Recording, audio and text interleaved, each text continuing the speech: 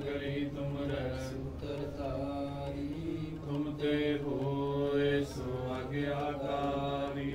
ਅਨੰਦ ਸੁਨੋ ਵਡ ਭਾਗੀ ਹੋ ਸਗਲ ਮਨੋਰਥ ਪੂਰੇ। ਪਾਰ ਬ੍ਰਹਮ ਪ੍ਰਪਾਇਆ ਤ੍ਰੇ ਸਗਲ ਵਿਸੂਰੇ। ਪੰਜਾਬ ਦੇ ਕਿਸਾਨ ਹੈ ਜਿਹੜਾ ਪੂਰੇ ਦੇਸ਼ ਨੂੰ ਅੰਨ ਦਿੰਦੇ ਹੈ। ਅੱਜ ਦੇਸ਼ ਵਿੱਚ ਅਨ ਸਰਪਲਸ ਹੈ ਪੰਜਾਬ ਤੇ ਹਰਿਆਣਾ ਦੇ ਕਿਸਾਨਾਂ ਦੀ ਮਿਹਨਤ ਕਰਕੇ। ਬੜਾ ਦੁੱਖ ਲੱਗ ਰਿਹਾ ਕਿ ਹਲੇ ਤੱਕ ਵੀ ਸੈਂਟਰ ਸਰਕਾਰ ਤੋਂ ਇਸ ਆਰਡੀਨੈਂਸ ਨੂੰ ਹੱਲ ਕਰਨ ਵਾਸਤੇ ਕਿਸਾਨ ਜਥੇਬੰਦੀਆਂ ਨਾਲ ਜਾਂ ਦੂਜੀਆਂ ਪੋਲੀਟੀਕਲ ਆਰਗੇਨਾਈਜੇਸ਼ਨ ਹਲੇ ਤੱਕ ਕੋਈ ਵੀ ਤਰੀਕਾ ਨਹੀਂ ਲੱਭਿਆ ਗਿਆ। ਮੈਂ ਤਾਂ ਦੇਸ਼ ਦੇ ਪ੍ਰਧਾਨ ਮੰਤਰੀ ਜੀ ਨੂੰ ਬੇਨਤੀ ਕਰਦਾ, ਤੁਸੀਂ ਆਪ ਬੁਲਾਓ ਮੀਟਿੰਗ ਆਪ ਬੁਲਾ ਕੇ ਸਾਰੀ ਜਥੇਬੰਦੀਆਂ ਨੂੰ ਬੁਲਾਓ, ਸਾਰੇ ਆਰਗੇਨਾਈਜੇਸ਼ਨ ਬੁਲਾਓ।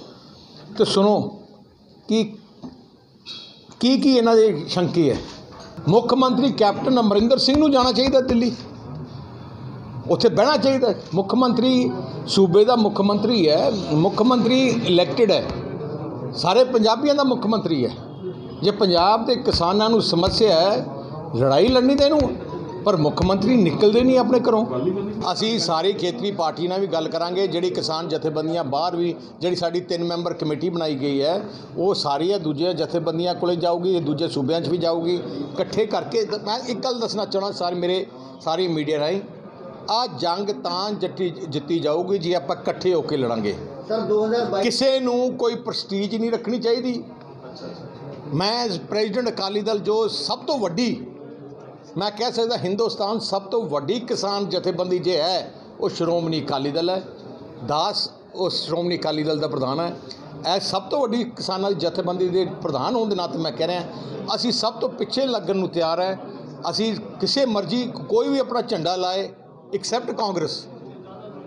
ਬਾਕੀ ਸਾਰਿਆਂ ਦੇ ਝੰਡ- ਮਗਰ ਲੱਗ ਕੇ ਅਸੀਂ ਆ ਹੱਲ ਕਰਾਉਣਾ ਚਾਹੁੰਦੇ ਹਾਂ। ਸ਼੍ਰੋਮਣੀ ਗੁਰਦੁਆਰਾ ਪ੍ਰਬੰਧਕ ਕਮੇਟੀ ਇੱਕ ਸਿੱਖ ਕੌਮ ਦੀ ਪਾਰਲੀਮੈਂਟ ਹੈ। ਇਹਦੇ ਅਕਸ਼ ਨੂੰ ਕੋਈ ਖਰਾਬ ਨਹੀਂ ਕਰ ਸਕਦਾ। ਆ ਕੌਮ ਦੀ ਜਾਇਦਾਦ ਹੈ। ਅੱਜ 100 ਸਾਲ ਹੋ ਗਏ। 100 ਸਾਲਾਂ ਵਿੱਚ ਹਰ 5 ਸਾਲ ਬਾਅਦ ਇਲੈਕਸ਼ਨ ਹੁੰਦਾ ਡੈਮੋਕ੍ਰੈਟਿਕਲੀ ਸਿੱਖ ਸੰਗਤ ਫੈਸਲਾ ਕਰਦੀ ਹੈ। ਜਿਸ ਨਾਲ ਸਿੱਖ ਸੰਗਤ ਵਿਸ਼ਵਾਸ ਰੱਖਦੀ ਹੈ ਉਹਨਾਂ ਨੂੰ ਬਣਾਉਂਦੀ ਹੈ। ਲਗਾਤਾਰ 100 ਸਾਲ ਸ਼੍ਰੋਮਣੀ ਅਕਾਲੀ ਦਲ ਦੇ ਉੱਤੇ ਵਿਸ਼ਵਾਸ ਰੱਖਿਆ ਹੈ। ਹੁਣ ਵੀ ਸ਼੍ਰੋਮਣੀ ਅਕਾਲੀ ਦਲ ਸਿੱਖ ਸੰਗਤ ਵਿੱਚ ਜਾਏਗਾ। ਜਦੋਂ ਇਲੈਕਸ਼ਨ ਹੋਊਗੀ ਪਰ ਦੋ ਕਿ ਹਰ ਆਦਮੀ ਨੂੰ ਹਰ ਕੌਮ ਦੇ ਹਰ ਲੀਡਰ ਨੂੰ ਹਰ ਕੌਮ ਨੂੰ ਹੱਕ ਹੈ ਲੜਾਈ ਲੜਨ ਦਾ। ਮੋਸਟ ਵੈਲਕਮ ਹੈ ਔਨ ਲੜਾਈ ਲੜ ਇਲੈਕਸ਼ਨ ਜਨਤਾ ਜਾਣ ਕੌਮ ਵਿੱਚ ਜਾਣ। ਕੌਮ ਫੈਸਲਾ ਕਰੂਗੀ। ਕਿਹਦੇ ਤੇ ਵਿਸ਼ਵਾਸ ਹੈ?